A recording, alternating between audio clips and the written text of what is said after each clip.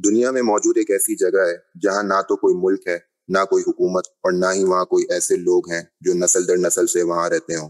एक ऐसा बर आज़म जहाँ डेढ़ करोड़ किलोमीटर तक सिर्फ़ बर्फ़ फैली हुई है। जी हाँ मैं बात कर रहा हूँ अंटार्कटिका की। भले यहाँ गर्मियों का मौसम हो, लेकिन पूरा साल यहाँ का temperature minus fifty degree Celsius से लेकर minus eighty nine degree Celsius तक जा सकता है। इस शदीद सर्दी की वजह से और साथ ही साथ 300 किलोमीटर की रफ्तार से चलने वाली हवाएँ यहाँ पर ज़िंदगी की उम्मीद को बहुत ही कम बना देती हैं।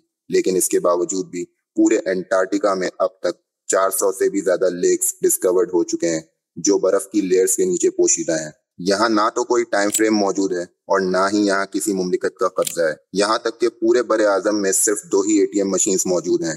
काफ़ी लोगों का ख्याल है कि इस अजीब गरीब दुनिया के नीचे जो बर्फ़ है, वहाँ एक अलग दुनिया छुपी हुई है।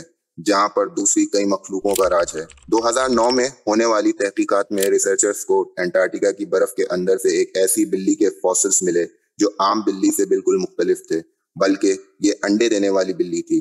जब इस फॉसिल्स पर मजीद तहकीकात की गई तो मालूम हुआ कि ये फॉसिल्स कम से कम दो करोड़ पचास लाख साल पहले के हैं। फिर साल 2014 में आर्कियोलॉजिस्ट को एंटार्क्टिका से इंतहाई हैरान कर देने वाली पहली इंसानी खोपड़ियाँ मिली, और हैरानी की बात इसमें खोपड़ियों की शक्ल थी। जो आम खोपड़ियों के मुकाबले में काफ़ी मुख्तलिफ़ थी। ये इस वजह से था कि इनके सर ज़रूरत से ज़्यादा बाहर निकले हुए थे।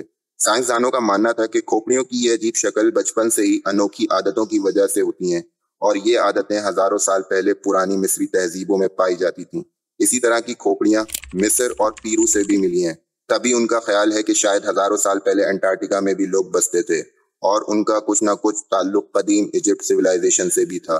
गुजश्ता पचास बरस के दौरान अंटार्कटिका से दस हज़ार से भी ज़्यादा आसमानी पत्थरों, यानी मेट्रोराइट्स मिल चुके हैं। ये मेट्रोराइट रियल ज़मीन से मुख्तलिफ़ होते हैं और साइंसदानों का ख्याल है कि इनमें से कुछ मेट्रोराइट सात लाख साल से भी ज़्यादा पुराने हो सकते हैं।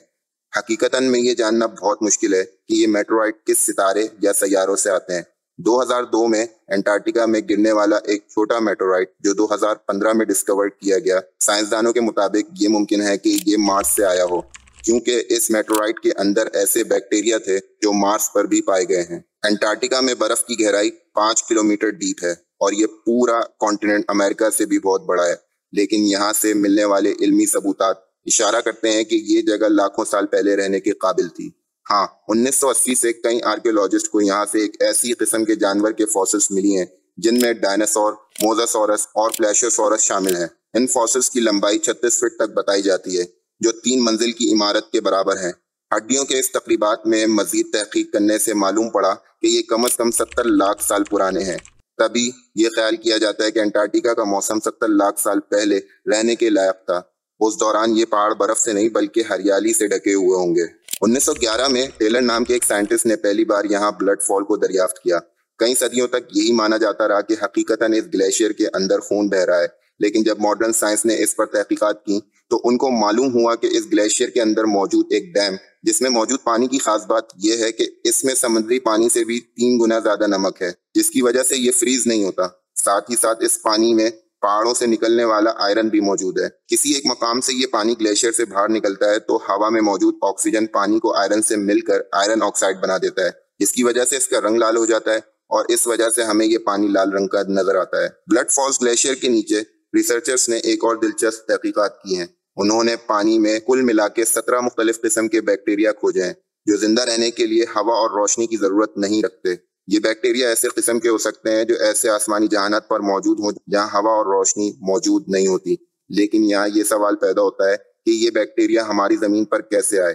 ये रास अभी तक हल नहीं हुआ है। अंटार्कटिका जो पूरी तरह बर्फ़ से ढका हुआ है, वहाँ पानी की कमी होना एक आम ख्याल है। मगर आपको हैरत होगी, यहाँ पर दुनिया की सबसे खुशक जगह भी मौजूद है, जिसे ड्राई वैली कहते हैं। ये एक ऐसी वाइड जगह है, जहाँ पिछले 20 लाख साल से एक मरतबा भी बारिश नहीं हुई है, क्योंकि यहाँ तेज हवाएँ चलती हैं। इसी वजह से यहाँ पानी तेज़ी से भाप बनकर उड़ जाता है। ड्राई वैली का माहौल मार्स के माहौल से मिलता जुलता है, इसलिए नासा ने अपने वाइकिंग रोबोट को मार्स पर भेजने से पहले यहाँ पर टेस्ट किया था। अंटार्कटिका में आर्कियोलॉजिस्ट की एक टीम को 1100 फुट की गहराई से एक इंतहाई खौफनाक मखलूक का ढांचा भी मिला है और ये पता लगाने के लिए कि ये ढांचा कौन से जानवर का है, कई एक्सपेरिमेंट्स किए गए, लेकिन हैरत अंगेज तौर पे इसका स्ट्रक्चर किसी भी जानवर से मैच ना हो सका। इस खौफनाक ढांचे की लंबाई आठ फीट बताई जाती है, जिसकी हड्डियाँ बॉडी से निकली हुई हैं। कई सालों की मेहनत के बाद भी आज तक ये पता नहीं लगाया जा सका कि ये जानवर कौन सा था और आखिर इस धरती पे आया कहाँ से था। उम्मीद है आपको ये वीडियो पसंद आई होगी। अगर हाँ तो लाइक करें इस वीडियो को और अपने दोस्तों के साथ शेयर करना ना भूलें। और साथ साथ इस चैनल को सब्सक्राइब भी करते जाइएगा। अब मैं मिलता हूँ आपसे इनशाला अगली किसी इंटरेस्टिंग टॉपिक के साथ। तब तक के लिए, फ़ी अमान